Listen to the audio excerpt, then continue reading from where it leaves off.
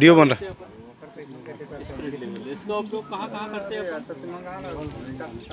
Level कहाँ कहाँ का लेवल अपन मिला सकते हैं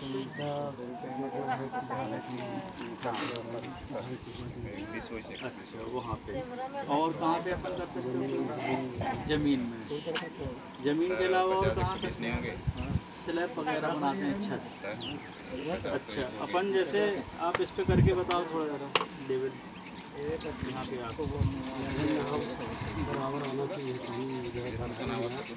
ये बुलबुला है, ये बबल। तो ये बीचों बीच होना चाहिए, तब लेवल अपना सही रहता है। अगर हमने ये यहाँ पे कर दिया, ऐसे कर दिया तो ये बबल ऊपर जा रहा है। तो यहाँ पे क्या होगा? ये यहाँ पे क्या होगा? डाउन होगा। और यहाँ ऊँचा होगा।